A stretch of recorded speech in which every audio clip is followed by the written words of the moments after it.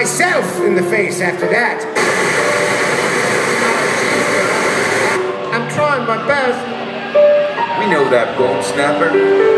It's just that your best sucks. Yeah, yeah, you guys never used to treat me like this when Oderus was around. I miss him so much. Hey, hey, hey guys, I got an idea. Why don't we use this time machine to bring him back? If it can bring back Blothar and that chick here, don't you think it just might be possible it can bring back Oderus?